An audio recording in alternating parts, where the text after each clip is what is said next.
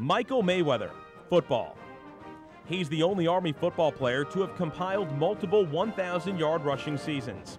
Mike Mayweather eclipsed the 1,000 yard plateau three times in his career, en route to establishing the Academy's career rushing record with 4,299 yards. So dominant was Mayweather that he eclipsed Army's career rushing record, held by legendary running back Glenn Davis, in the final game of his junior season. In a sparkling senior campaign, Mayweather set the Academy's single season rushing standard with 1,337 yards, was named a first team All American, and finished 10th in the Heisman Trophy voting.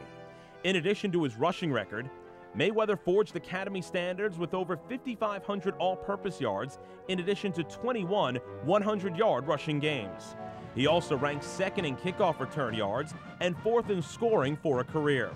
Mayweather amassed 1,022 ground yards in 1988, a total that helped the Black Knights earn a date opposite Alabama in the John Hancock Sun Bowl. From the class of 1991, Michael Mayweather.